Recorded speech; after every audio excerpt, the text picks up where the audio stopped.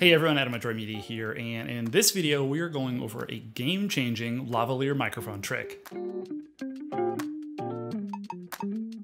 Lavalier microphones are very common in the video production and filmmaking industries, and if your projects like mine revolve around testimonials or interviews, you undoubtedly have a lavalier microphone in your kit. They're lightweight, they're easy to use, and they allow for hands-free audio capture. These microphones get clipped onto lapels or ties or collars, and one of the things that I want to go over today is kind of a game changer in, in doing this. It's going to potentially save your shoots because it's going to make it a lot easier for you to mic up your talent you're going to be able to do it quicker and you're not going to have to mess with a loose collar or something like that. So, and this is universal for pretty much anything that you're going to want to do, whether you've got a collared shirt, um, you know, a loose woman's blouse or something like that, or even a t-shirt. And the only thing you're going to need is one of these itty bitty binder clips.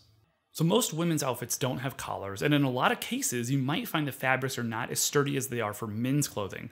Clipping a mic on can cause the fabric to hang awkwardly or droop inward, neither of which look good for the talent.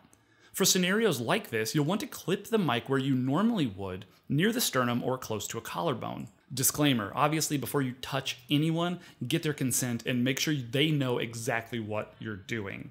We'll keep the cord on the inside by gently tucking it under the edge of the collar, have the talent move their hair if needed, and wind it back towards their shoulder blades. Once you have it back here, you'll just use your clip to keep the cord secured, drape the rest of the cable down their backs, and if it's a wireless system, have them place the receiver in a place that's comfortable to them. This works the exact same way with any shirt that might be a little flimsier, including t-shirts. For shirts with collars or shirts that are tucked in, we'll be using the exact same method, but running the cord underneath the collar around to the back, securing it again with your clip, and letting any excess drape down the back.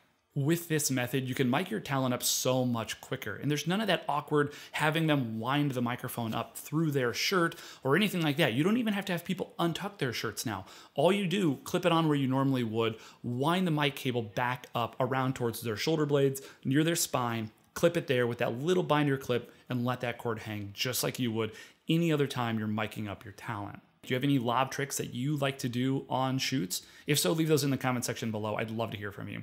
As always, thank you so much for taking the time to watch this video, and I will see you next time.